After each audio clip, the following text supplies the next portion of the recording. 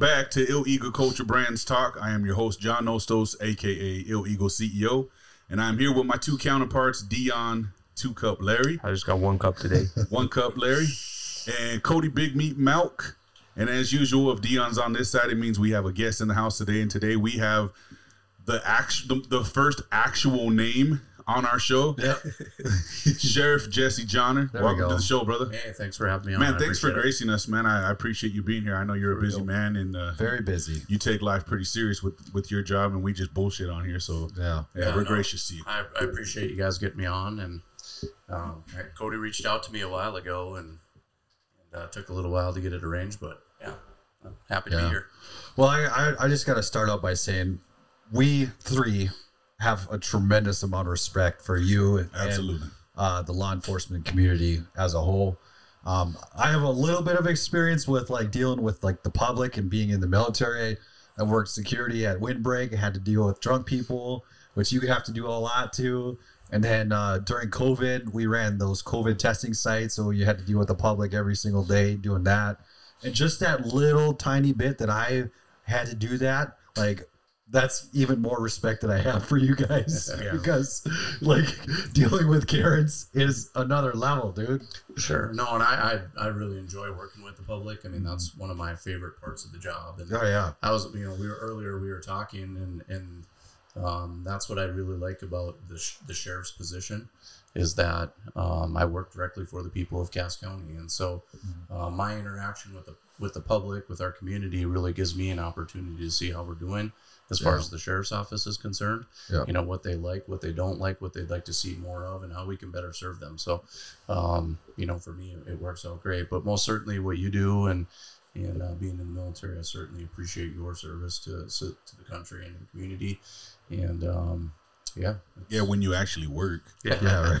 Agreed. yeah, what do you say? He was done for a couple months. Yeah, now? it's, it's easy cruising Well, now. Yeah. I'm technically I'm supposed to have just Fridays off, but it, that hasn't occurred yet. so I've you hit doing- your mark? I hit my mark, but I've been doing stuff every Friday since now, so I don't know if I'll ever get a Friday off. I have no idea. Well, I, I heard guys are trying to take your spot as uh, military in our gym. Yeah. So Yeah, that's there's some new boys that's a problem. That's Yeah. a problem. They showed up at run HQ boots. Gym today. Yeah, Yeah. yeah. That's a great recruiting tool, though. Yeah. You know, oftentimes I see you in the gym working out with some of these guys with Yeah. your with your uh, guard group and stuff. And Yeah. I think that's that's a good way to draw young people in. Yeah, Show um, you know, show how your group is is uh, you know, kind of that brotherhood, and Mhm. you guys get to hang out and do do fun things besides work stuff. So yeah, Yeah. Yeah.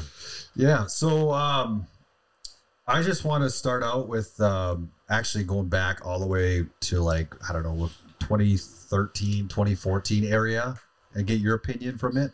So the start of like this anti-cop rhetoric, I guess, would would have started with President Obama at the time. Um, I think it was around 2014 was when um, I kind of started hearing more and more of the, you know, like cops are bad stuff. I guess. Do you remember like during that time period if if the feeling was kind of shifted? Wait, were you a cop in that time period, Sam? yeah, so I actually started at the sheriff's office in '98. So Oh wow. Okay. So I've been there for quite a while. So um, that that's a good point because over my time in law enforcement, I've in law enforcement and the public's perspective, it goes up and down, right? Oh, Um, sure. You know, you, you just now in our community, we've got tremendous support with the with the unfortunate uh, incident involving Officer Jake Wallin. Most certainly, uh, we, we've seen a, a tremendous outpouring from our community here in support, and so. Um, unfortunately, it takes sometimes tragic events to, to bring that about. Um, but through my time, I've seen things go up and down. And I guess, you know, really for me, um, we're, we're lucky to work in this community because we have such good support. I mean, I can go places daily and people will come up and say, Hey, thanks for what you do. Thanks for your Yeah. service. And I know that doesn't happen in all parts of the country. Um, so, but definitely, you know, there's been different times and I don't really know, you know, for me, I don't know if I can really pinpoint maybe a specific Something- year where I've seen, Well, something stands out to me. I remember some officers that got shot in Dallas, Texas. Yeah. That during that period, and um, I just like the people were obviously coming out in support, but it seems like people at the top were the opposite effect. They weren't really. Yeah, I mean it, it and it and it does kind of vary depending on you know, um, maybe who's in office and kind of the climate um, and and culture and things like that and, and perspectives, of course.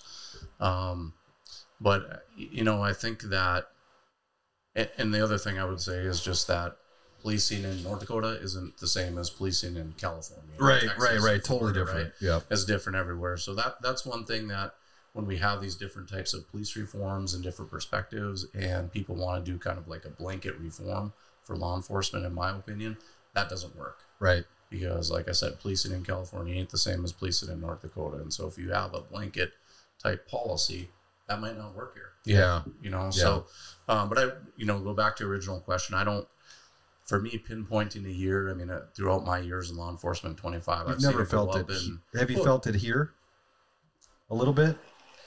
yeah i mean uh, you know if you so when we had the the uh, the riots in fargo Yeah. it seemed like at that time maybe we um, there was it seemed to be maybe a little bit less respect for for law enforcement nationwide and i think that kind of trickled into the area a little bit Mhm. um, you know that, that was probably the biggest time that i saw anything so So um, that would be my next topic. Well, one second, because uh, uh, I mean, we definitely attract a younger crowd, and I, I- I just kind of want to get a little bit more of your your like career backstory, I guess. Yeah, that Uh, would, that'd be great. I mean, I, I've had a lot of great opportunities um, in my time as law enforcement through the different leaders I've had, two different sheriffs I've worked under, and they've given me a lot of great opportunities. So, um, I started off in 90, 1998. I graduated from NDSU with a criminal justice degree.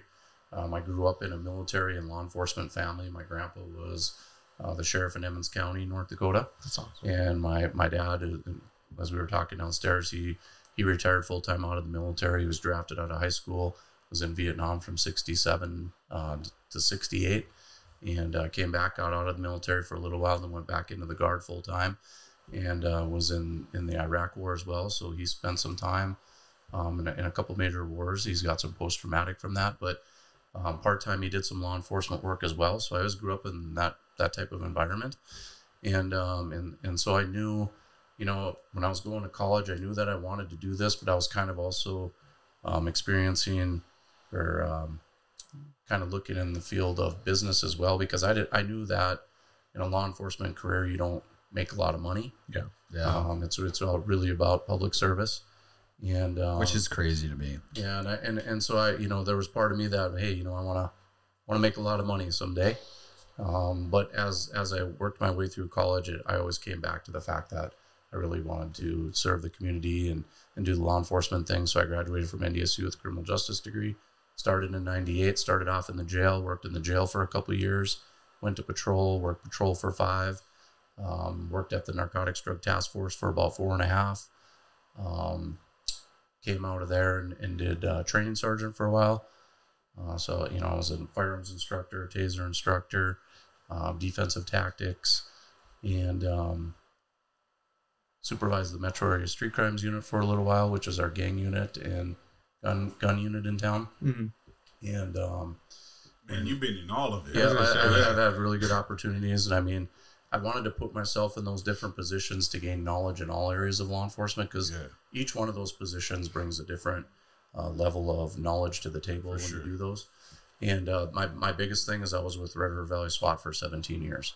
I left there as Wow. assistant commander, and and uh, that was probably the the highlight of my career to this point. I mean, I, I love being sheriff and and serving the citizens of She Cass like County. kicking down doors. Yep, and did a lot of that. I mean, there was you know five different situations where we took gunfire. Yeah. Um, had a had a SWAT officer uh, take a shotgun round to the helmet and different things. Damn. And so, um, but I I liked you know that getting gaining that knowledge and bringing it back and and teaching other people and training other people uh, was really important to me. I uh, last year myself and another person from Essentia we trained 52 businesses on active shooter response. That's really important to me now is bringing that knowledge to our citizens, our businesses, so that they can protect themselves. And, and I like doing that. So uh, that's a little bit about my career. And, um, you know, this is my second term as sheriff. I've been fortunate to have the citizens of Cass County vote me in. And I've been able to serve them, and A I really enjoy that. a term for sheriff. Sorry, I don't know. Is it two? Yeah, it's two- four years. four so, years? Yep, every Just- four years okay. I would I have to run for for my spot. So, okay, Mhm. awesome. That's Yep. that's definitely interesting to know. I, I, a lot of people, I'm sure, would. Well, and, I, and and the other thing with it is, I don't think a lot of people understand the difference maybe between a police department and sheriff's office. yeah, Um, the the main difference is, is again, I'm elected by the people. Um, the chief of police is usually appointed to their position. We work directly for the citizens, and we have jurisdiction over all of Cass County. So we can work in Fargo, West Fargo, uh, on the interstates, out in the rural communities. Um, we try to concentrate our patrol efforts out in the smaller communities because they don't have a lot of money. Yeah. You know, they don't have enough money to have their own police department. We're the only one that has jurisdiction out there. So we want to be out in those areas and help them, provide them public safety. And um, and then as the sheriff, I oversee the jail. So there's one jail in Cass County, and if you're arrested in Fargo, West Fargo, wherever, they come to the Cass County jail. Yeah. So, yep. that's awesome. Yeah, yeah. Gabe works for a state trooper. He's Is a- that right? Yep. Yep. So yep, what- yep, what I is know Gabe state- really well? State troopers just do the interstates then? Y- Yep, they're in the state highways. They can do stuff on county highways as well. Um, if we get busy out in the county, sometimes we'll call them for assistance. Um, Gabe's Gabe's pretty square dude, squared Yeah. away dude. He's Yeah. on the he on the interdiction team, so he's doing a lot with uh, you know people bringing illegal stuff into Cass County and looking for narcotics, human trafficking, things like Nice. that. Oh awesome. wow. Yeah, That's awesome. Oh, that's cool. We know some Yep. bad dudes, man. Yeah.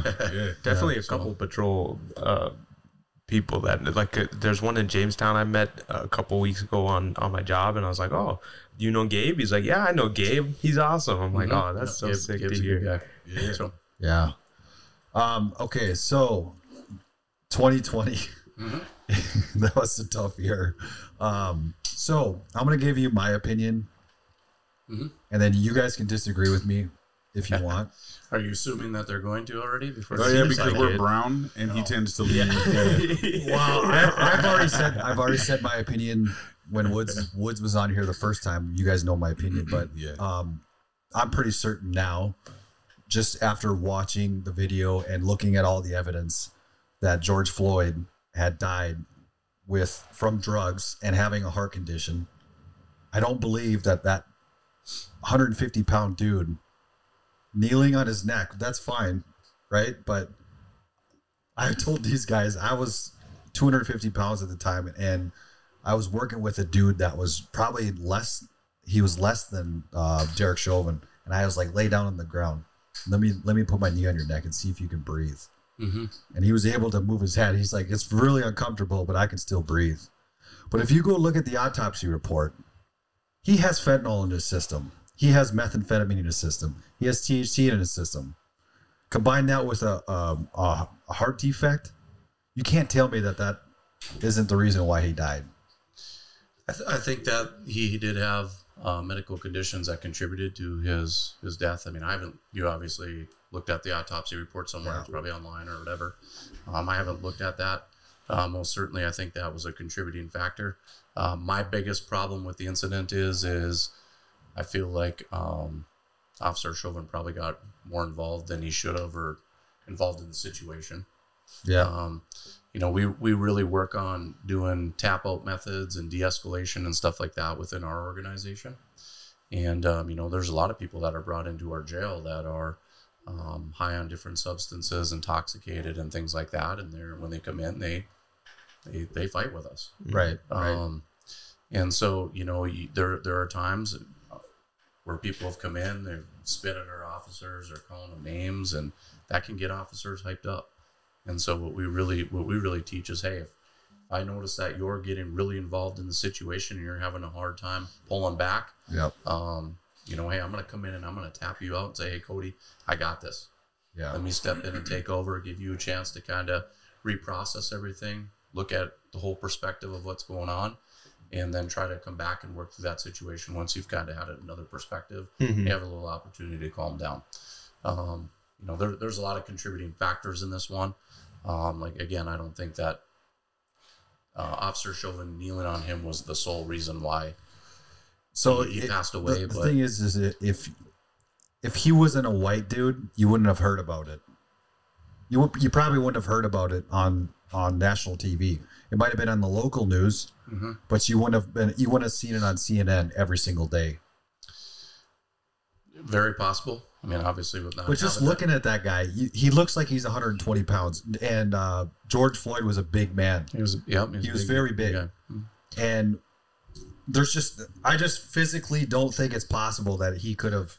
Yeah, I think I think the the, Restricted the the airway point that that you're much. looking at it from though is that the the knee being on the neck is what killed him. But I think what you're saying is the knee being on the neck with all the other underlying conditions, a- the drugs, the another- heart condition. It was a factor. contributing factor. Yeah, like it might have initiated everything else to go into mm-hmm. haywire and cause the, the you know what I mean? It's it's like what they're doing what they did with COVID is like people who had three underlying conditions and got COVID would be they would say yeah they died of COVID Right. Yeah. but they died with But- COVID and is what actually happened. My biggest thing is in, in situations like that, and this one where a person's on some some substance that's making them act different, act aggressively, whatever it is, um, that can, you know, play into people's obviously their decisions and how they respond to things. And for me, it's always like, man, just law enforcement's trying to place you in arrest or they're dealing with you, don't resist. Yeah. Because Yeah. anytime that someone resists,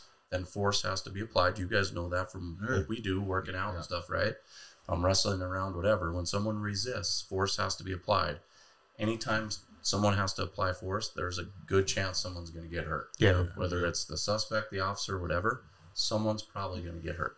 So, and that's that's the biggest thing for me. Um, and I try to tell people that when I'm working through situations. Listen, don't resist because no matter what, we got to deal with the situation. We got to take care of it. We got to handle it.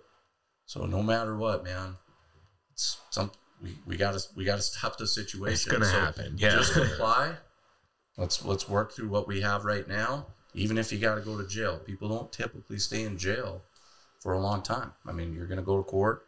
You're going to get bond. You're going to have your chance to have your day in court. Let's Hmm. let's let the process play out. Um, there's no reason getting hurt over it. To my my opinion.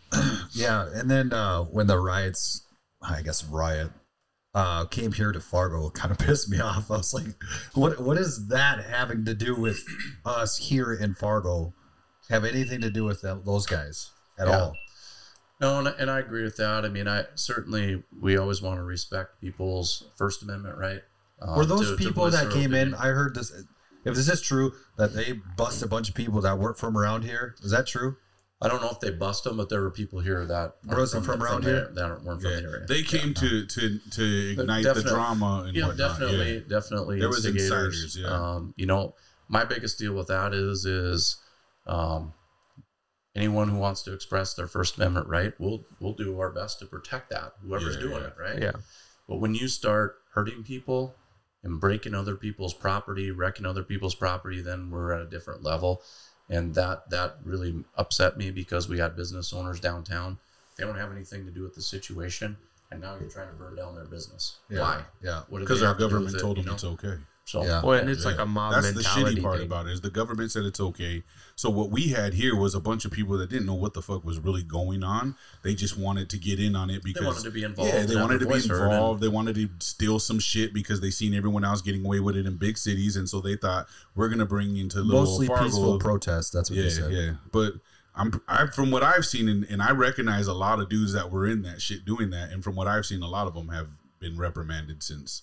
They've all been caught up for the most part. Yeah, I mean there are people obviously that got you know served some time through the through the justice system and Yeah, stuff. yeah. But again, for me, it really was you know, hey, you can come down here, have your voices be heard. Yeah. But when you start breaking things, hurting people, throwing bricks at officers, um, rocks, whatever, other people trying to hurt people, burn stuff down, it's done. I mean, at that point, it's done. And uh, I did legislation and as a as a as a result of that. I did legislation um, a couple of years later just to try to help protect our businesses. And so now, if you you know try to wreck someone's business during a protest, it enhances the penalty. Because again, I just don't. We don't need to do that. I Yeah. So That's Yeah. crazy. It's not fucking nationwide. Like, how is that not nationwide? like, you wreck somebody's business that they spent their whole lives trying to build, and somebody comes in and just destroys it, and, and all you get is a slap on the wrist. Like, Mhm. that's crazy. Like in Yeah. California, they just let them go. And I drove through there. Minneapolis, what are you talking about? It was right down the Yeah, Yeah, I was gonna say Minneapolis is I drove through downtown Fargo the, the next morning because I was going down to City Hall to do the press conference for that. And, um, you know, when I drove through there and I saw people, business owners, owners out there sweeping up the glass from the broken windows, trying to scrape off the, you know, the spray paint from Graffiti, the walls yeah. and graffiti Yeah. and stuff. And it, it upset me because I'm like, man, these guys, You know, They- like you said, they worked all their lives probably to start this business, and now it's destroyed. Yeah. And uh, so, The th- the thing that pissed me off was uh, I heard people bitching about um, uh, Fargo Police Department shooting uh, tear gas or whatever. Whatever is it called? Tear gas? um, well, it, could, it was either OC Yeah, OC, or whatever. CS. Yep. But they gave him straight up 15 minutes. They kind of countdown. They gave him like 15 minutes to clear the area. Uh-huh. They said, you know, we're going to do this in 15 minutes and then we're going to do this in 10 minutes, five minutes. You have five minutes to clear the area. Mm-hmm. You have one minute. They gave him a countdown. Yep. And these stupid there when they were motherfuckers, so- these stupid people sat there and were just like, oh, they did, they sprayed me in my eyes. You know, they're all like pissed off that they, I was like, I, I watched the live video, guys. I saw the countdown that they gave you guys, and you sat there and took it.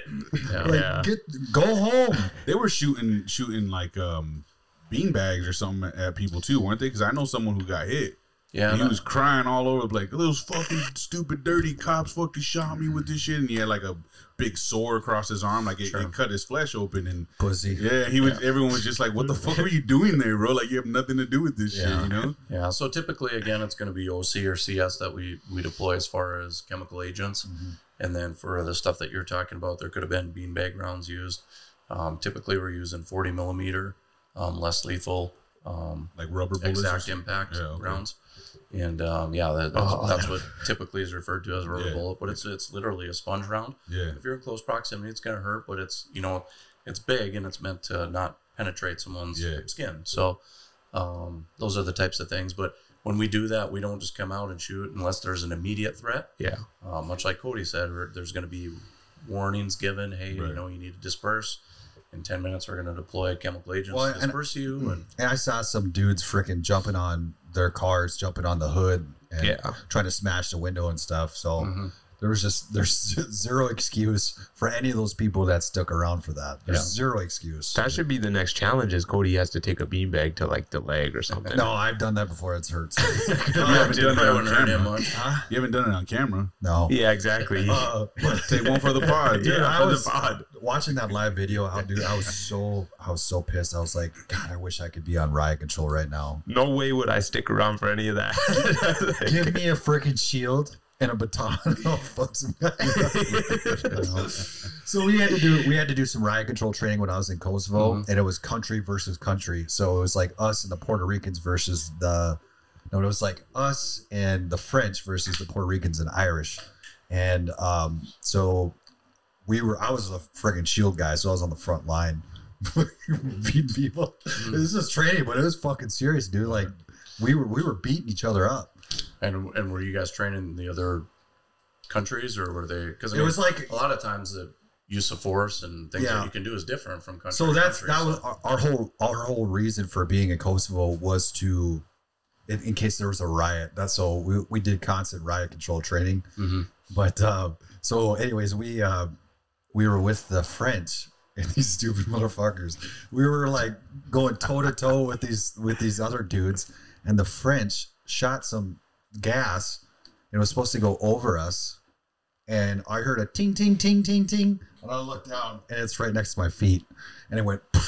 Yeah. And all that, all that OC gas just, just like, run. So we had to hi- hightail it back to the buses. It was like a good half mile. That's crazy. The crazy. freaking wind was blowing our direction, Oh, so it shit. followed us all the way back, and we're sitting here like, oh, we can't see. Yeah, that's, that's not fun. OC or CS is not fun. so. yeah, yeah. But um, but anyways, um, yeah. So uh, there was just no excuse for all that. I was pr- pretty disappointed to see that here in town, even Yeah. even if there weren't uh, those guys weren't from around here, which is kind of crazy. There was indiv- individuals from around here doing Yeah, it as a lot. well. So There's I, a lot of Deion's boys from high school. I definitely not from um, high school from me, but they were older than me, and I did go to high school at some point with them, but they weren't like my boys. but again, no boys of mine. probably being influenced by outside Exactly. people, which Yeah, was un- sure. the unfortunate thing. It's the crowd. I mean, once Yeah. once a crowd starts doing things, it makes people do things they wouldn't normally do. So, Yeah. But yeah, it's And now it's crazy because you look you look at Minneapolis. Minneapolis used to be a destination for everybody in Fargo to go to to get out of Fargo and Mhm. go to somewhere big and you know have fun. But after 2020, when like Jacob Frey was screaming, "Defund the police! Defund the police!"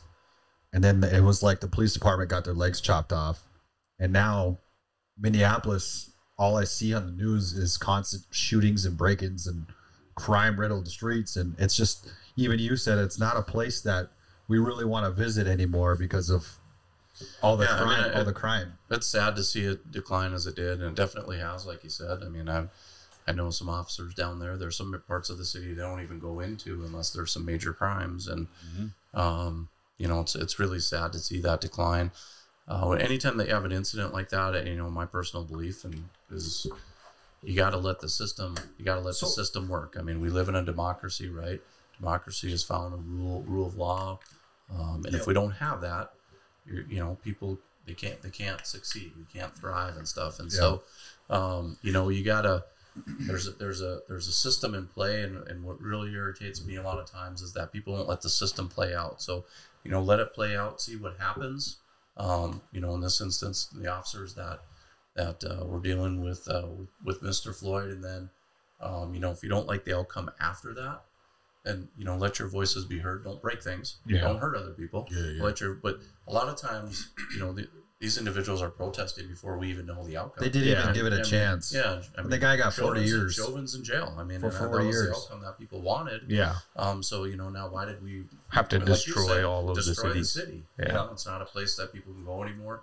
You you saw in the news that much like we talked here, there were people that had generations of businesses down in those areas that got destroyed and they'll never be replaced. Yeah. Yeah. They didn't And, uh, just it's- get it's re- windows broken and shit. No, These mean, businesses it's are burned down. for And good. And like I said, it's generations upon generations that work through these businesses um, that just they aren't there anymore. yeah. So it's And then new bus- new businesses don't want to go there because they know that it, that that could potentially happen to them. So they just they're like, Yeah. screw that. I'm There's not, not going there." safety in some of those places, like Yeah. you just said. It's like Yeah. I I go out there and I I'm obviously like closer to the college because I got friends that are in that age range, and um, it's I don't feel safe out there. Like I, I don't I don't feel comfortable. I don't like being out there for more than a couple days. Like you, it, it all looks much more run down than it did Yeah. four years ago, five years ago, and it hasn't been like any. It, it hasn't been much time for that, and it, it's kind of sad to see. And it's just if you're not in a nice part of town, it's like you don't want to be walking down the street. Yeah. Right. I mean, last time that I knew, they were down 300 officers. Yeah, Yeah. So I mean, it's, it's that's hard. It's hard to hard to patrol and and maintain that public safety when There you're was just the a- officers. So a whole uh, team of officers that quit all on the spot Mhm. recently in, in Minnesota somewhere. Yeah, Yeah, just that we talked about it the last one. Yeah, like they Yeah. just the the chief, everyone just quit on the spot, left them hanging. and and you know, there a couple of years back, I don't know if you guys remember, but they changed it, some of the use of force after that Yeah, incident yeah. in in, in uh, Minnesota. I had written a letter to um, Governor Walz. I never did get a response back from him. I, I figured I wouldn't, but my letter simply said, "Listen, you you changed the use of force. You didn't give law enforcement a time to adjust to this." And what you need to remember is the the bordering cities along the different states. You know, we we have working relationships Yeah. across state lines, especially here. We have all good working relationships with Clay County Sheriff's Office, Moorhead. We share resources. We share a SWAT team. If you make law changes like that, don't give time for people to adjust. it It's not going to work. yeah, So we quit going over there for a while. Now, as you saw, they have some changes recently with, with their school resource Yeah, officers. yeah, you know, yeah. and um, what's happening there is people are just making decisions at the legislative level and not really asking law enforcement, hey, how is this going to affect you? And taking a good 360 degree perspective look Yeah. at what's the change going to do?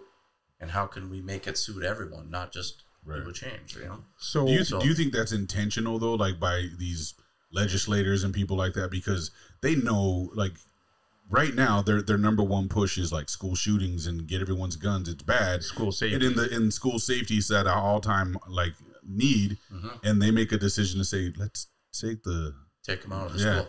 that, Yeah. that makes no sense to me. It- I think that's doesn't. just I like think a it's just people- setup. I think people are just making rash decisions. Yeah. I, don't- I, I don't know. I guess I, I didn't sit in their legislative session, so I didn't hear the discussions. I, you, you, was it you that posted about Yeah. it? I didn't really I get said- to read the I, article. yeah, I sent it to you guys. yeah, I didn't read the article. What did the article say? So basically, Why- why- it why- was why- why- it had to do with like the use of force again. It was Yeah. about like the way that they were able to handle the students. They weren't allowed to like um they changed the Like, word. Put them in different holds. put them in different and holds and- thrown them yeah. out. And But the concern with that is, is when you have people, you guys know this, when people make quick, sudden moves or react quickly, Yeah. people react instinctively to try to counter that. Yeah. And sometimes, you know, you if you something happens quickly and you react and respond and get someone down on the ground, now you've just thrown them out. Now you're in trouble. Now you could get Yeah. charged.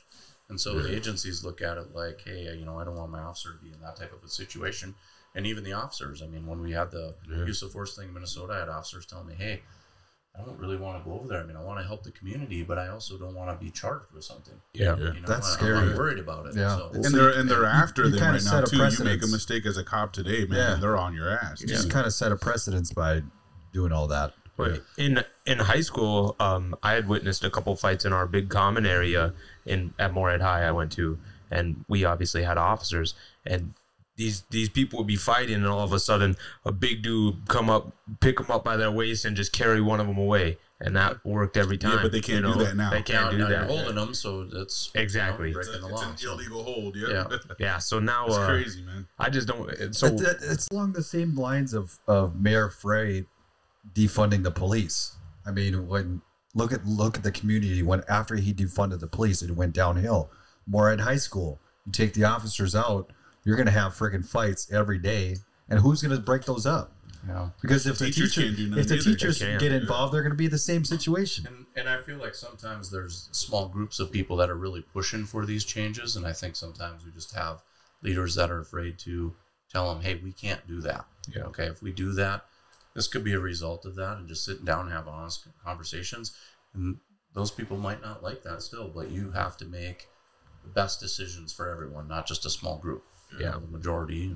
Well, even in the email like that the school was sending out, like they they don't they're not happy with this decision, obviously. So Yeah. it, it must have been something that happened super quickly without It notification, came from the top, like usual. and uh, and and it's putting their kids and their teachers at risk, and and it just doesn't seem r- right for anyone. And I really don't understand why they would do something like that.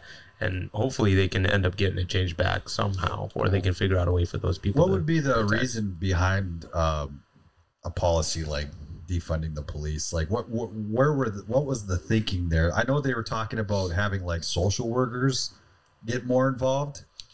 Did that ever transpire? Like, was there actual social workers being trained up?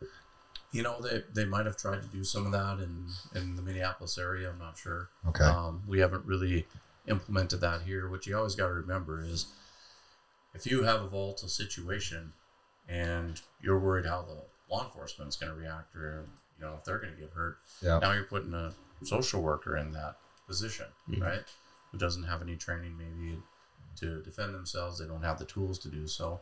So you know why would you do that? And is there a time and a place to have uh, a social worker be involved in the situation? Sure, but initially when law enforcement gets to a situation, they need to make an assessment of the volatility of it. You know, and when people are having mental health issues, um, those aren't easy situations to work through.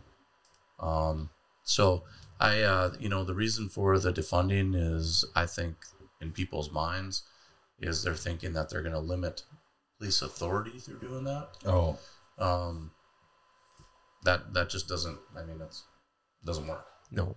Um, and in actuality, I think it has the reverse effect because when you start defunding law enforcement and taking tools away from how people can protect themselves, then you have good officers who start to leave the profession. And then you got to lower your hiring standards. And then we turn into this situation, right, where we're bringing, uh, we were using lower hiring standards, and now we're bringing people into the profession that might not be the best people right, right, and right. now right, we're getting into more trouble, right? Because now they're not making good decisions, and that's even making it look worse for law enforcement. Now you want to defund them more, and so we got you know those are things that I don't think people take into perspective. It's a domino effect. yeah, it is, yeah, It- yeah. and so um, you know, a, funding law enforcement and getting them more training, de-escalation training, things like that would be, in my opinion, the way to go, and not defund. That's that's what I've been saying So- for a while now. It's like you need to. I, I I think I said it during 2020. I was like, we can't defund them. We need to fund them more. Yeah. they more need training, more get better training, tools, better better everything like Mhm. pay you better get better quality candidate i'm not saying not saying that we don't have quality candidates but Yep. i'm just saying the, the higher the pay the higher more quality pay, yeah, exactly. and then the more training like um, you know hand-to-hand combat training whatever you guys need that or resources less lethal. You know, we've, we've got a number of least, le- less lethal options available to our, our deputies, but I don't have enough of it to have in everyone's car. Yeah. And Yeah. Cass County is large, right? 1,768 square miles. So if I've got an individual out on Page who's dealing with a situation, they're trying to de-escalate it, Yeah. and my next closest person is in Oxbow. I mean, that's that's a long ways, even running code. And the person in Oxbow might have the less lethal tools. This person doesn't have it, so Right. that's where we get into the hey, let's fund and let's get more equipment, let's get more training Yeah. to work through these situations. And I know uh, I heard this on the Joe Rogan podcast. I can't remember who. I feel it was like Ronnie Coleman. I think because he was a He former was, cop. yeah, he was Texas cop. So uh, he was saying like uh, it would cop all the all cops should have some sort of juji- jujitsu training, Mhm. and then you know if they get into the those certain those certain predicaments, they can freaking Just stand up. put Yeah, people. well, I, in- well, I don't know put if too people many people really argued with him. Yeah, because that's obviously he showed up on scene. I'm, he, tore somebody's assuming- socket. So saw him put on his, his vest one time when some of the little uh, videos that he had shot Yeah. of himself, and the thing barely went over his Yeah. chest. It's like- so, but anyways, um, yeah, I mean, it's you know, we we put all of our staff through defensive tactics, but there are a number of agencies who might not have the resources to do that, or the tra- you know they can't get their people to training because they don't have the money to do it. yeah, Um, they can't send someone off to be an instructor and come back Mhm. into the agency because maybe they don't have enough people, enough staffing to send this person away for a week. So yeah, there's a number of factors in there, and not everyone's trained the same. yeah. It's just it's it's freaking crazy, man. Like I watched this video, and I don't know if there there could have been anything done. I watched this video of the female cop that was approaching a house, and this guy came out with a knife and started walking towards her, and she kept telling him, "Drop knife, drop knife." But then she tripped and fell Mhm. down, and this guy like got on top of her. She ended up shooting him, but um, she could have. She lived, but she could She didn't end up shooting him. She she he did or she did. She did, Yeah. okay. She but he he lived. She lived, but it was just like I wonder if like she had gotten enough training or if it was just one of those things mm-hmm. where she accidentally tripped. You know. Yeah, But I mean, it happens. it does. Yeah. Especially with so much adrenaline, like this guy was just. He, he- And you don't want to kill him. She obviously didn't. I Well, mean, yeah. I mean, you don't want to be freaking on the on the news every day. No. You know, it was one of those situations where she was a white cop and there was a black dude Yeah. had a knife. Oh yeah, see that her. makes the decision even harder to to Yeah. react the way you should because Mhm. even if you feel like it's a justified legal yeah. You think you're probably going to get you- judged? you- yeah, you got to think people about the fact like, oh mind. great, it's a you know I've heard So now stories. you're with even- hesitating. I've even heard stories of black cops pulling over black people and being like, "It's a shit show now. I hate doing it because they look at me in all my blackness and they're like, oh, bro, you pulled me over because I'm black.' you, huh? Yeah. And they're just They- like, motherfucker, like, look at me, I'm oh, black. Oh, you're on their side, huh? Yeah, you know it's weird, man. You- you- But I mean, really, it's a matter of just. And I I know this is easy to say, not always thought the same, but really just got to look at the situation and what you're Right. dealing with, and not, you know, obviously the color of the person or anything like that. I mean, it's. Um, we have certain policies, procedures, training that we follow, and you got to treat everyone the same. Yeah, yeah. So, Well, it's just yeah. I mean, being a cop is probably the hardest job that there is out there because any day could be your last. I mean, you pull up on somebody, pull over for a simple traffic stop, and they could be just sitting with a gun right next to their door, ready to blast. you see it all the time. I Yeah, I mean, mean, you- it's you- stuff like that. Like people don't. That's why I get so upset when I see people screaming defund the police. I'm just, I just want to Mhm. slap shit out of them. Yeah, it's uh, you know, you you have that in the back of your mind every day that you know it's a dangerous job and you could get hurt any day. I mean, certainly we saw that on uh, Right. on on July 14th. I mean, guys investigating a traffic crash and not expecting that they're going to get ambushed. You know, Yeah. not even enough a chance really to to defend themselves. So you always have that in the back of your mind, but um, you know, you you know that going into the position into the profession. So Yeah. So that's my, that's my. I'm sorry. You Yeah, I was just to say, in, in jumping into that uh, discussion um, regarding that that situation that happened here in Fargo. That's why I want to bring is, up. is this th- this guy that that uh, attacked the officers that day was was he really headed like downtown to the fair? Is that So- as far as like people know anyway? yeah, um, well, obviously, first off, I mean, I wasn't involved in that investigation. Sure. Um, so, uh, but you know, w- what came out of that is that he did have information Yeah. uh, about the street fair. So that would lead one to believe that Sure. he was definitely looking into that for whatever reason. We'll probably never know. right. Um, but I think you, a person could draw their own speculation, you know, why would he be looking at that? Right, right. And have all And had things. all so, that yeah. arsenal on him, man. So Yeah, that I'm a little confused about. So, we are still actively, as a military, in Syria right now. We still have troops over there. People are still, you know, it, it's- there's fighting going on. Okay, but this guy was from Syria, and he came over here in like 2018 or or 2013, something like that. But then he said they said that he was starting to look into mass mass casualty events in 2018. So he, I'm just a little confused in how like, and then they said that he was like on this report, but it wasn't a terrorist watch; it was some some other report. But how was he able to acquire all this ammunition? He worked for Scheels in the gun department, from what I understood. yeah, that that I don't But know. still- but I didn't hear that. Yeah. either, but He's got a Syrian a Syrian um, background, right? And he starts buying. So yeah, I mean, I, I think where you're going is obviously we know we're not getting along the best with Syria, and we have Yeah. this person that's moved here from Syria. Why isn't he more on more of a watch? And he's Probably. And Um, they, I mean, they started. They saw that he was looking up mass cas events, but I don't know if it just didn't trigger until he looked up a certain amount of mass cas events. But it just I don't I don't know the exact timeline of everything. So I mean, I don't. Obviously, there was there was a tip that came in yeah. um, from what we know now. And they knew about Um, him, right? Like the, somebody knew something about him, Yeah, but nothing he had was you know he had he hadn't obtained anything illegal. right? Yeah. And that's So that's the crazy that's, thing, That's the you know that's the thing with it is is like the guy wasn't doing anything illegal. right? Um, but yeah, I mean you you would like to hope or like to think that anyone thinking to do that we'd be able to intercept that information somehow somehow.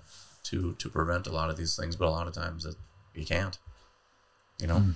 I, I mean, obviously we all think it, and, and I just want to be able to say it is uh like thank those guys for being brave enough to do what they did, and obviously Yeah. the sacrifice they put on the line there. Um, it was.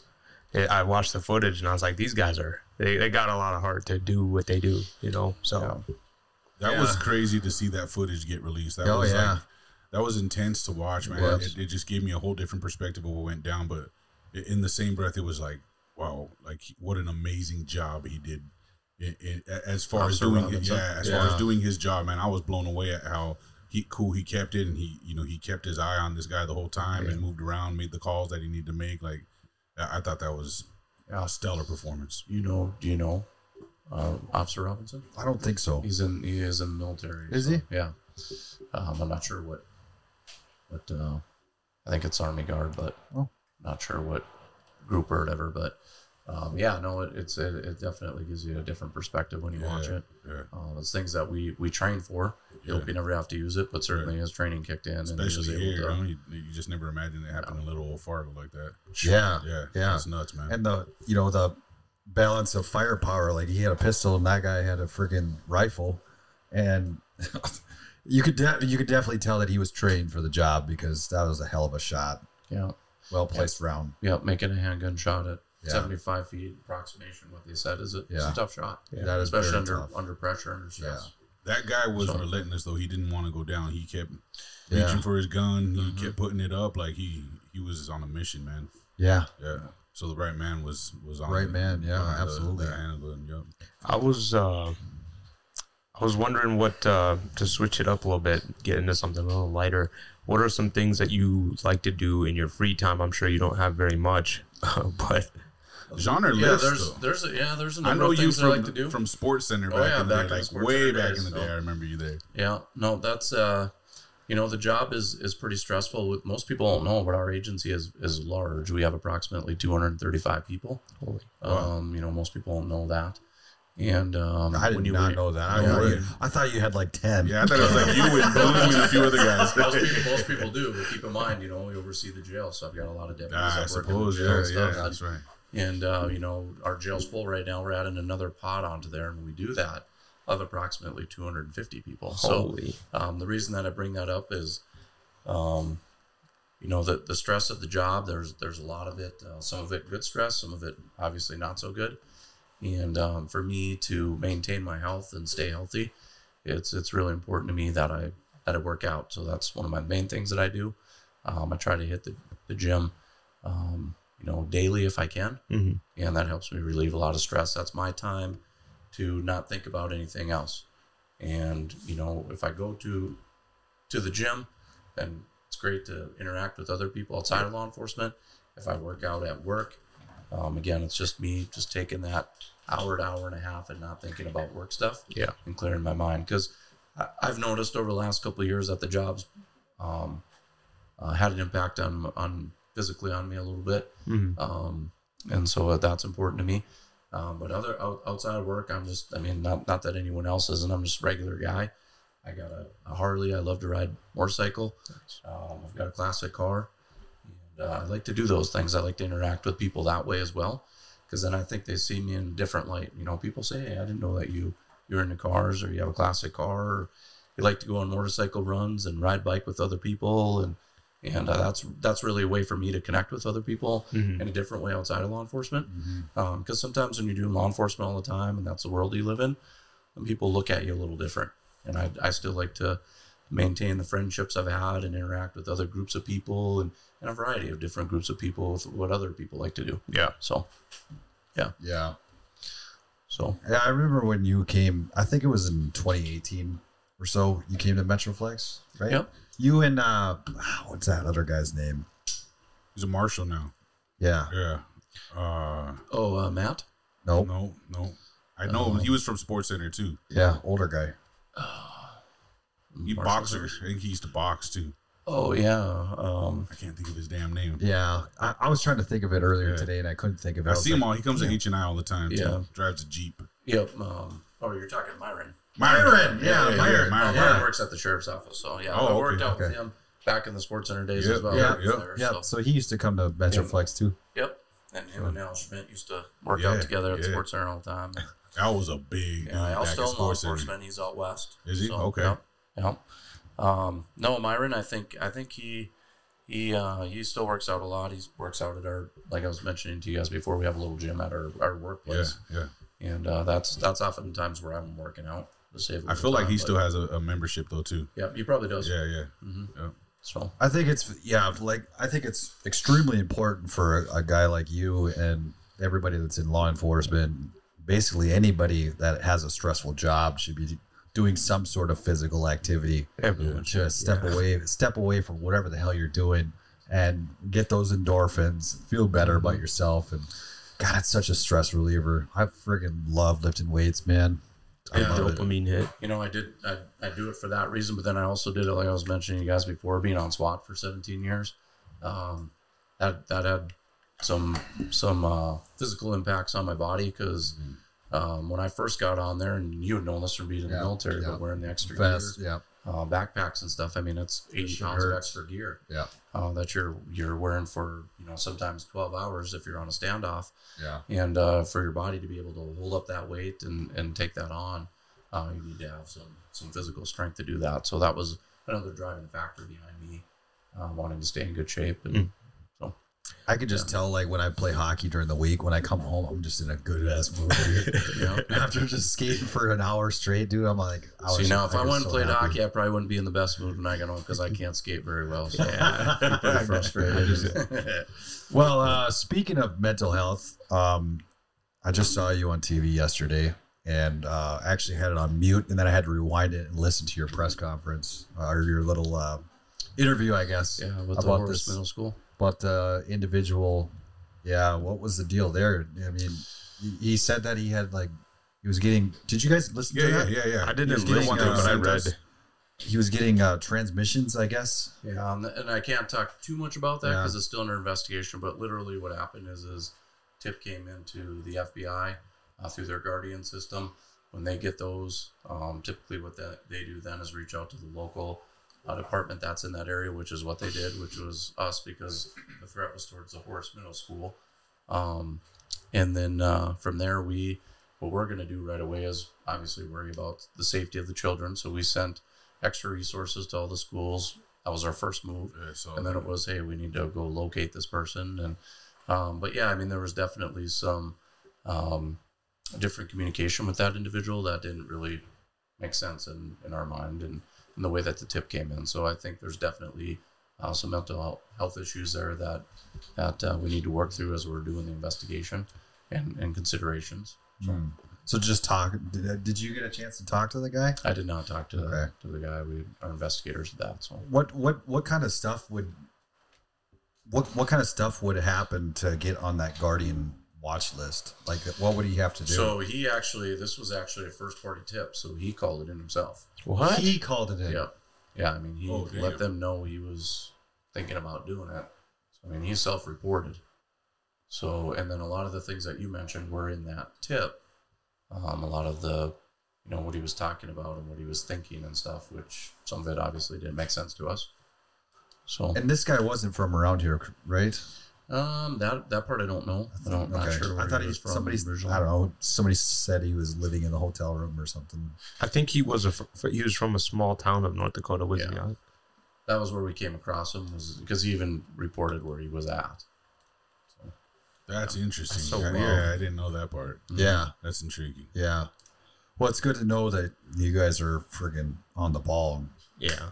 Rapid response. You know. Yeah, our school resource deputy program is really an important program to us, and we got people Hell in yeah. all the schools, and it's for that reason. I mean, the good coordination amongst all of them to get people in play and make sure that the school is safe. So Yeah, we're just at that time of our lives, I guess, where it's important to have uh, police officers in the school. yeah, it's pretty sick that we got to talk about active shooter stuff all the Yeah. time. Yeah. it's just it's reality, unfortunately, and Well, that's I've been saying. I've been saying this. It's not, and maybe you disagree. That's okay, but it's not a gun issue. I think in this country, clearly, there's a mental health issue yep, I would- across the board. I If you, would if you 100 look, I would 100 percent agree with you. So, if you look at everything that's been going on, the last friggin' I don't know five or six years, really it kind of ramped up. But uh, it it just seems like it kind of just taken a back seat mental health wise. Yeah, a a number, majority of the calls that we go on are going to be addiction issues or mental health issues. Mm-hmm. So it's it's definitely increased. Um, we're seeing a lot more issues in our jail for mental health um, problems. In fact, we've got a mental health coordinator that's assigned to the jail now because of how many people are coming in and our our staff. You know, they don't go to school to deal with mental health issues. Right. So when we have these individuals in our our jail, if you don't understand kind of the, the core root of the problem and get them right medications, then we're using force against them all the time because you know they're trying to do things that our guys don't understand and and um, with their behaviors and and so having that mental health coordinator that we have now is really important in trying to get people evaluated and do they need to go out to the state hospital or you know and a lot of times if they do they get the help that they need get on the right medications they can actually function pretty normal Yeah. but it's a matter of getting them getting that diagnosis and getting them the right treatment Did you see So- a rapid increase of mental health stuff I since just gonna ask 2020? yeah Yeah, yep we've definitely seen an increase over the last couple of years for sure. Imagine that, So, right? For sure. yeah, no no doubt about it so I was I don't want to go back too far, but I was going to bring up something that um, I got some some firsthand knowledge on was that during the 2020 uh, riot downtown that we had, there was actually um, one of your deputies from the jail that was on the other side going at the officers. I saw him on the front line even. He was a black guy and he was he was arguing, yelling and cussing out cops on camera during the live stream of all the shit that was going on downtown Yeah. and he was a deputy at the jail. Did he get did he get reprimanded or? I don't know. I don't know. What, I don't know what happened to him, but at our jail? yeah, yeah, yeah, Like you know the dude? yeah, yeah.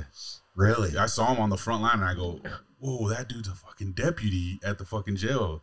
Like for sure, I know he was, but yeah, I, didn't, I was just curious if anything ever came of that because he was on the front line, like literally in the cops' faces when they would had the barricade there downtown. You know, he was Yeah. right there in the front, yelling, cussing. As soon as they started like spraying and doing all that shit, like I see him running, and I think he even said like he got hit with something, and he was like cussing out cops, and I'm like, this dude's one of them, Imagine you and he's on the front line on the other side, bro. Like, you got Yeah. a mark on your arm, and they're like, "What's that?" You're like, "Nothing, nothing." What do you mean?" Yeah i'm not i'm not familiar with who that person was but that's crazy. I was So- curious, yeah. yeah I was wondering, uh, what's what's one of like the craziest or most funny excuses that you've gotten during like a just a regular traffic stop during like patrolling?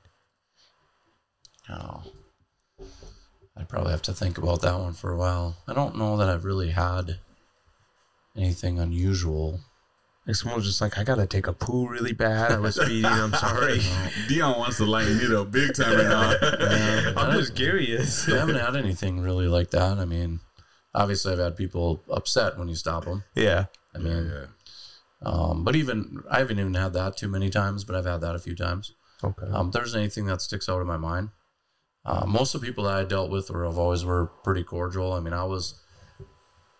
My philosophy is is if the person's respectful when I'm having a conversation with them or I'm trying to change behavior, they're respectful to me. I'm going to be respectful back, right? Yeah. and a lot of times, um, that person knows that they made a mistake and and and they admit to it. Majority of the time, I gave people gave them a little bit of a little bit of a break Mm. you know um, if they were doing something wrong and and they had another violation going on i wasn't the person that usually gave them two tickets um, i give them a warning for the one and a citation for the other as long as they were respectful. Hmm and they said hey yeah, yeah you know i messed up. I was speeding and i apologize. And okay because really really to me it's about changing behavior right? Someone's out and keeping people safe. Yeah. so if someone's out doing something wrong and you have an interaction with them and they know it and and that interaction is positive and they're going to make a change next time that's that's all we're really looking for Yeah. um, it could go down a different path sometimes you can pull someone over and give them four cites in one traffic stop what's that going to do right that's going to piss someone off and they're going to have that bad um, idea about law enforcement when they leave Yeah. and that one interaction that you have with someone could be the only interaction that that person's ever had with law enforcement. And it might be on- the only interaction that they have with law enforcement in the future. So, you know, I want that person to leave with a positive um, perspective of what we're doing, a professional perspective, Mhm. and go, hey, you know what? That guy was that guy was pretty cool, and all he really cared about was making sure that I wasn't out here speeding and no one was going to get hurt. And you know what? I'm not going to do that next time. yeah.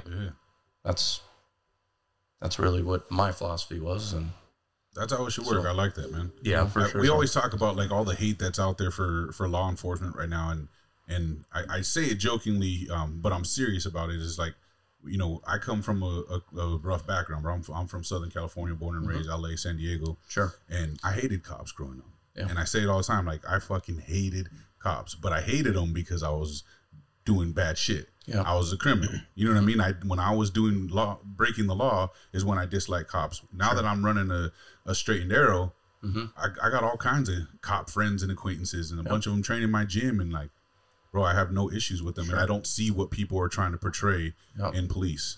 Yep, and that's it. That's good perspective. I mean, you'd be a great person to interact with some of the younger people that maybe have that perspective now and say, "Hey, this is where I was at one Yeah. point in my life." And, Yeah, um, we're oh, you guys for that, interfered with me when I was stealing shit and breaking into cars. Like, you know, how could I not hate a cop, Yeah. man? Like, there goes that asshole's gonna stop me. Yeah. Well, when- like when I first got on patrol, um, I moved out. They had me live out in Page, which is a small community um, west of town, northwest of town. If you guys don't know where it is, and they hadn't had a, a an officer out there for a long time, and I was stationed out there, and I told myself, you know, hey, this is going to go one of two ways. I'm going to either stop everyone out here because they're not used to seeing law enforcement. They're probably all speeding around out here. And they're going to run me out of town, or you know, I can have good positive interactions with them and, and try to meet people and, and move this thing in the right direction. And so what I did was I started a little little um, spreadsheet in my car, and when I stop people for the first time, say, hey, I'm I'm Jesse. I'm the new guy. I'm sure you've heard. There's a new deputy living out here. That's me. Um, you're going to see me a lot more. So obviously you're speeding today.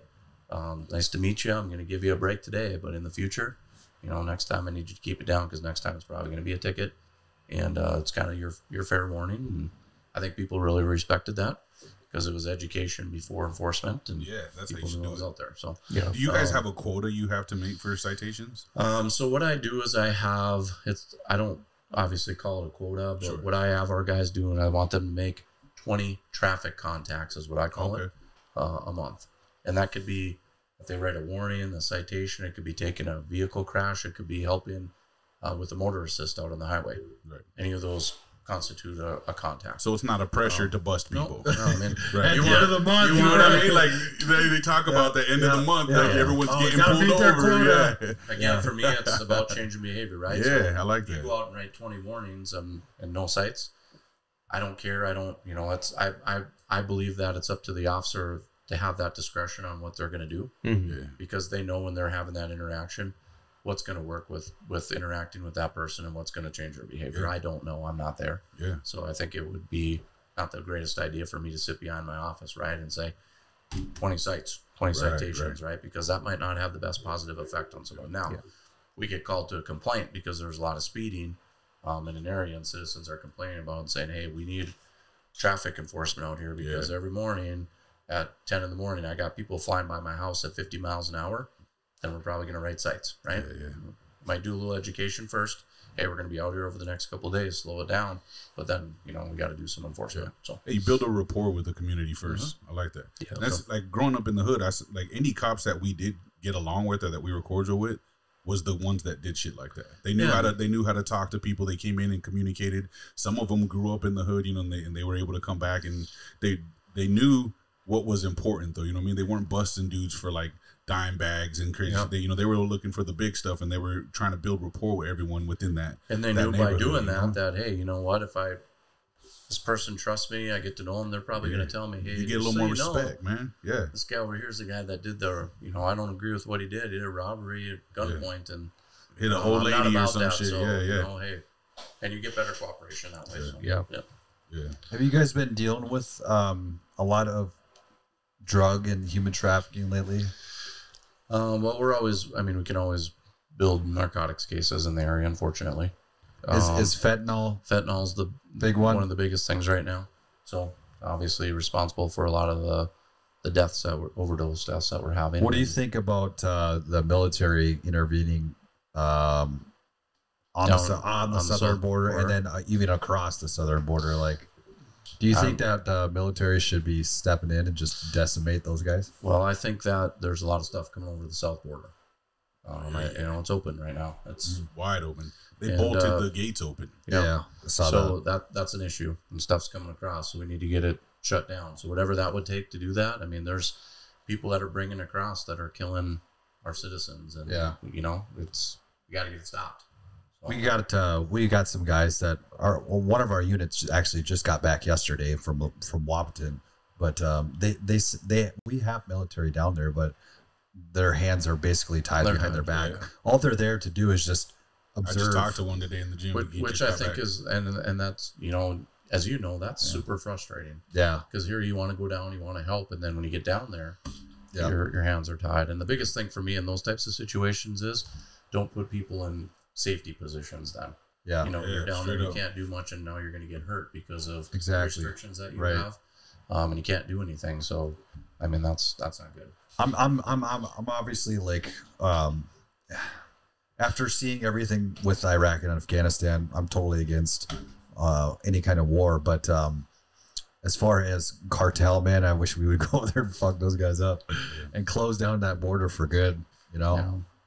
Yeah. yeah they're i mean obviously again responsible for a lot of a lot of the A lot of stuff deaths. across and a lot of deaths so we have Yeah. a lot of um, cartel in North Dakota, don't we?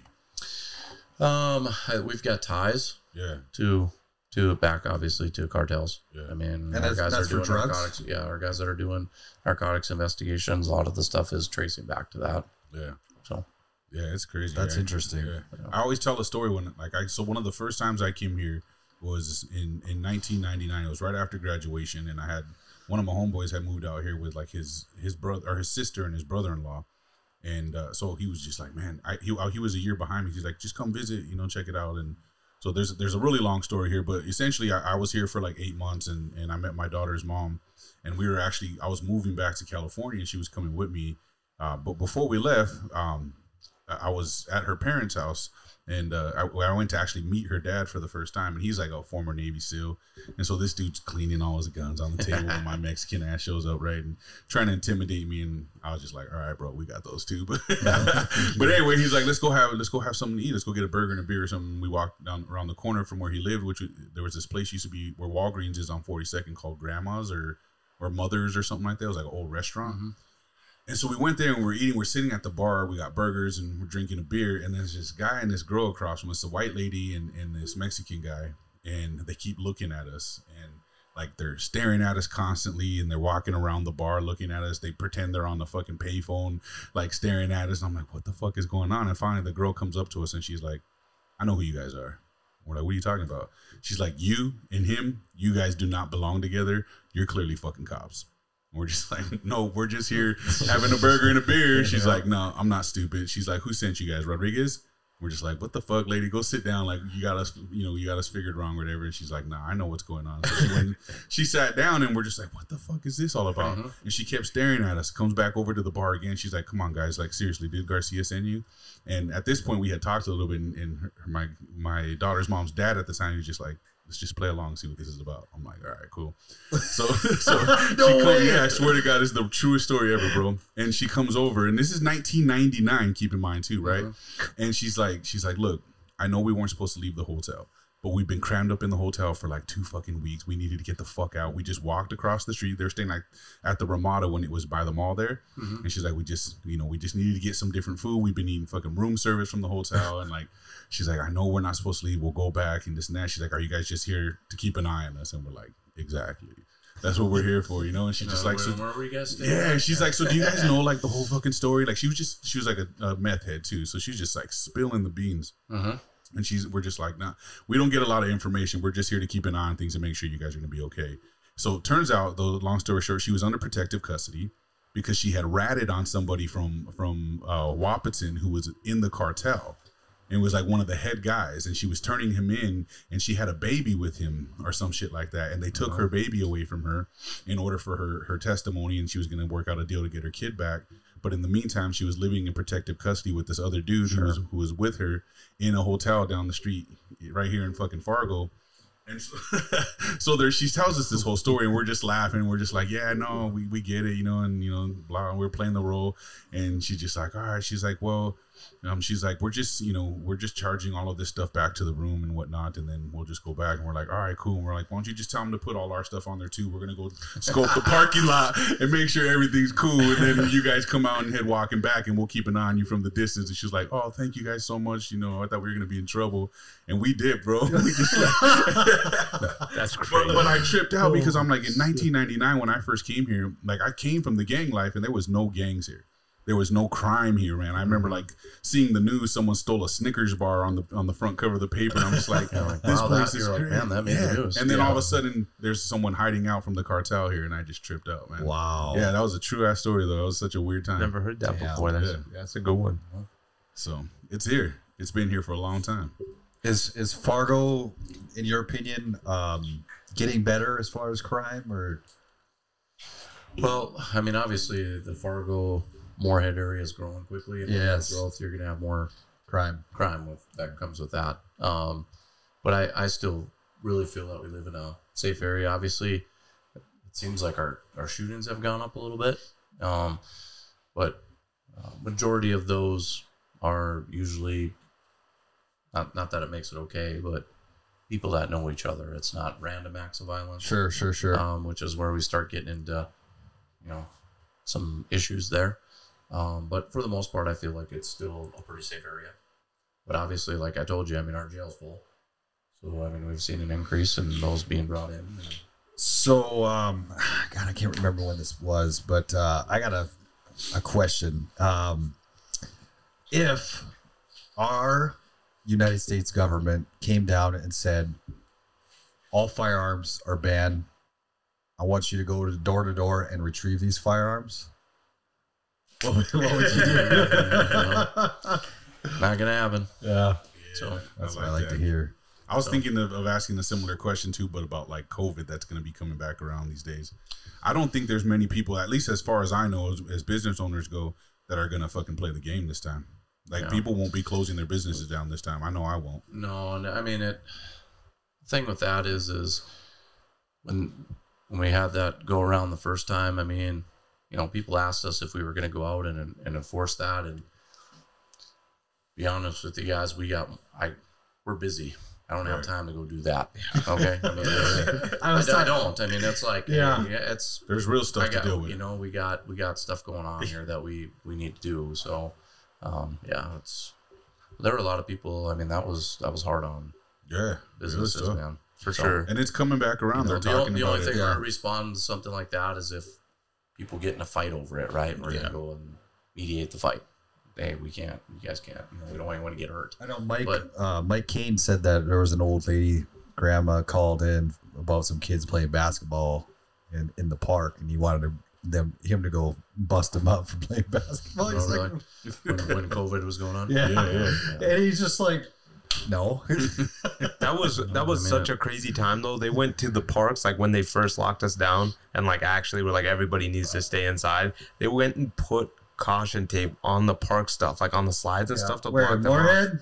I was in Dilworth Yeah, at the they, time. bro. They they um like locked up uh the nets too. They they They made like like zip tied them and or put locks on them or Yeah, some shit, so they were That's closed weird. and shit. It was wild. It was, weird. The, the problem with all that stuff is that really bothered me is the the information that was coming out, the misinformation, and really, um, you know, scaring people with not giving them the full story on everything. Shit, Yeah. even to this And like day. what you were saying with uh, with the with the lady coming out and saying that, I mean, who knows where she was getting her information from, and Yeah. who was trying to persuade her that it was so you know so bad or whatever. And that was really my whole issue with it is you just were hearing so many different stories, Yeah. and you know, if this then this and this. Nothing then they said about COVID has turned out to be true. It was all bullshit. Even even to this day, it was all bullshit, including the vaccine. yeah. I mean, The, we were the forced to- misinformation coming from the the government resources and all that stuff were like it was all bullshit. Did you see that new report? It said 99% of the COVID deaths ha- had underlying uh, Yeah, conditions. medical Yeah, they, they, they say it was it used to be eighty percent before Yeah. we had real Yeah. you know like information, but it was eighty percent of the people who who died had a minimum of three and a half underlying conditions. Yeah. Um and and like eighty percent of of those deaths were um fear by psychosis. Yeah. Which was like the fear campaign that they were running. If someone got COVID because of the news and all that shit that they were doing all the time, making us fear it, those people is assumed they were gonna fucking die, and the placebo kicked in, and those motherfuckers died. Yeah. It was fear of psychosis by way of psychosis. That's nuts, bro. That and that's those are statistical facts. You can go look up. It's you know CDC and and WHO and all that are now posting all this stuff. Which back then they were saying it was complete misinformation. It was lies. It was all this, and now they're putting these statistics on their sites, and you can go look it up factually now. So it's crazy, man. Yeah. No, It's, it's crazy to think it's coming back now. Well, like they- they're trying to tell us, hey, booster. September, October, get ready. get the Yeah, booster. we're gonna do our best not to do lockdowns and mandates this time. If everyone can do their part, though, it's it's gonna be a little bit easier to make sure that doesn't happen. And I'm just thinking to myself, like, who's really gonna fall in line this time? Oh, We're, be- we're, we're too be- informed, and we have we've seen too much be a- evidence now. gonna- there's gonna be a couple of them. Oh, out you there. know, I I mean, see a couple of mask wearers already. I'm like, Yeah. oh, I've, I've seen some people been wearing them since, compromised. yeah, since it came some out people never time. stopped No. wearing them. Yeah, yeah, So- in the car by themselves. Yeah. Yeah, yeah. So before we close it down, man, I I, I want to touch on one last thing. Um, just kind of in in terms of what goes on in our regions, do we see um a lot of like what he brought up earlier, like human trafficking, particularly um with kids, pedophilia, stuff like that? You, you guys have a pretty big We- issue with that here? So, um, like we were talking about before, I mean, Yeah. we've, we've been pretty proactive at our agency in trying to um, get someone assigned to our, our ICAC task force. And, and so we have someone up over there pretty much doing that full time. And ICAC stands for Internet Crimes Against Children. Okay. And that's where a lot of uh, luring is happening with children right now through social media Yeah. and and ways of that in that nature. And so, um, you know, unfortunately, we have gotten a lot of tips on it, and um, I don't think we're we're we're not. It's not an epidemic here, but is there some of it going on? Yeah, unfortunately. Yeah. Um, but through working on the SICAC task force, I mean, I think that we've gotten a pretty good handle on the different types of social media sites and stuff like that that people are using. Yeah. So, which is why I put someone on there because, as you guys know, I mean, some of these, some of the way that they do some of the stuff is is pretty complex. Yeah. Yeah. And if I don't have someone staying up on the technology piece and being able to inter, investigate it that way and, and intervene, it's tough for us to figure it out. Yeah. Yeah, So, Yeah, it's it's it's uh, it's everywhere, and I know people always say, you know, it's always been this way, and now we're just more aware. But I don't think that's even the case. I think it's it's getting worse by a long shot, man. I you see, mm. yes, it's always been here, but Yeah. at the rate that it's going on now, and the people that are being exposed for it, you know, the the- to the degree of you know like it's not just your sick neighbor or the dude who lives in the trailer Right, park the weird anymore. guy, yeah. no it's politicians it's government Yeah. officials it's teachers it's Mhm. you know principals it's you know i mean you the church we- pastors and, and their wives and i mean i've seen it all right here in this community and it blows my fucking mind Yeah, we've seen obviously seen some bad stuff with with uh, some of the school stuff. yeah Yeah, middle school Yeah, I see principal, that. principal I think was The hardest thing for me is just you know that there's people trying to take advantage, like we talked about before, of um, younger children and some problems they might be facing. That's really Yeah, a lot yeah. of times how this stuff starts. Yeah. is you know some some a young child having difficulty with something, vulnerable yeah, vul- being vulnerable with whatever it is, and then that adult person picking up on that and using that to play and try to lure that person. Yeah. It's pretty sick. yeah it's So, disgusting it, so yeah, absolutely disgusting Isn't uh, some states do chemical castrations for pedophiles? chemical castrations. I haven't heard that. Really?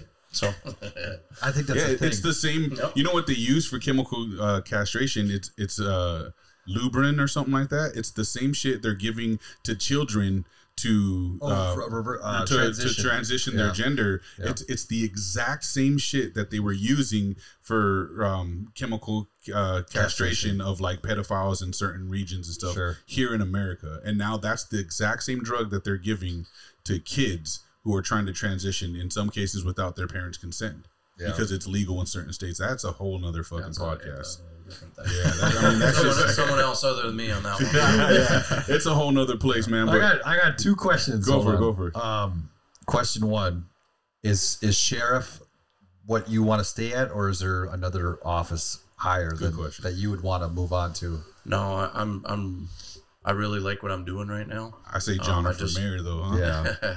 I just started this term, so my first year and Yeah. my second term here. So I've got three years here. You know, right now as I look ahead, I would like to do another another term, but we'll see.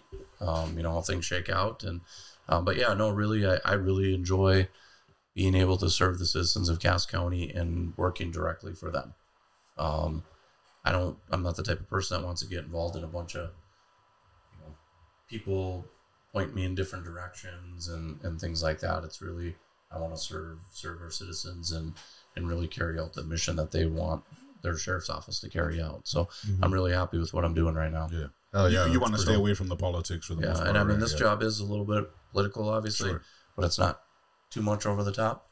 Right. Um, so and some of the politics part of it is fine. Some of it I don't care for. Um, you know, the politics of meeting with people, visiting with them, seeing what they want from their office, and, and working alongside them. That's uh, that's great. That's awesome. Um, some of the other more political stuff, and people want certain agendas carried out. Um, that might be different than yeah. uh, what we stand for. No, I don't care for that. So, Yeah, Well, I think you would have our vote if you decided hundred to. percent. Yeah. In fact, you know, next time you have to run, I, I'm gonna make sure that my companies get behind you and support. No, You I know, appre- I appreciate that, for sure. so, yeah. yeah. Well, since you uh, came onto our podcast, you're probably unaware, but I'm going to ask you anyway. Uh, what is your opinion of all of the UFO stuff that's been coming out? Yeah, it's been pretty crazy with that information. I mean, I don't. Uh, Do you, you- know, do I've you- never you- really paid attention to it before. Yeah. Um, but now that some of the information's coming out, I mean, like many people, I think a lot of people didn't think it was Real? real. Yeah. Um, but now there seems to be more evidence coming out, so it's kind of strange. I mean, I'd like to like to research it more, but that's the problem, right? We never get access to all the, All the information, information, that's right, available. So you're kind of sitting out here. Should you believe this person? Should you believe that person? But um, So now your- the government is, you know, declassifying a lot of yeah, information. which so, is but so again, you got to take that with a grain of salt. salt, too. yeah, you do. My question to Um, you is: Do you believe there's a possibility that aliens are a real thing, Or just I another more life form besides us. outside I think of there's the- possibility for anything. So you know, All right. I know that's, You pretty- got that's me a on pretty that broad answer, Yeah. but I mean, Yeah. None of your deputies uh, have ever uh, re- reported seeing anything that you know of? No, not really. Okay. I mean, they Not to me specifically. Yeah. They might have been out driving Don't, around. don't tell the saw boss. He's gonna think we're crazy and pull Yeah. Might have been out driving around, seen something. I'm like, yeah, what's that? I don't know if I should talk about that or not. Yeah. yeah, Who knows? I get it.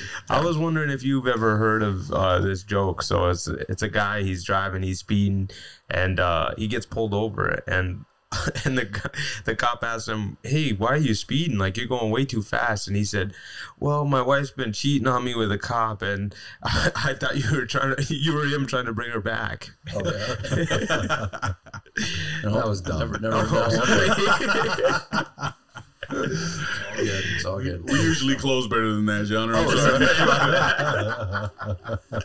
no, man, it's been a pleasure to have you on, bro. I Yeah, appreciate you, coming uh, you. touching on some of the topics that you touched on with us, um, and just kind of giving us some insight and a whole nother perspective than the kind of shit that we joke around and, and go off on in, on this show. So, um, super appreciate it, man. Appreciate having you in the position that you're in. Uh, you're definitely one of the good guys, so I commend you for that, and, and I'm very thankful to have you in our community, um, not just our gym community, but just in general as as far as the sure. the North Dakota Cass County area goes. So Sure, I appreciate that. I appreciate that support and the, those those words, of course. And uh, it was definitely fun being on with you guys and chatting. And want to do it again sometime? Let me know. Right on. We'll make sure. that happen Yeah. for sure. Don't forget to like, subscribe, check us out. We now are on Spotify, YouTube, uh, Amazon Music, soon coming to Rumble. There you go. Uh, I got us signed up on there, so we'll be on there soon. But yeah, talk your shit. Tell your friends about us. Don't tell your friends about us. Talk good, talk bad, no matter what you're doing, as long as you're talking about us. We are out.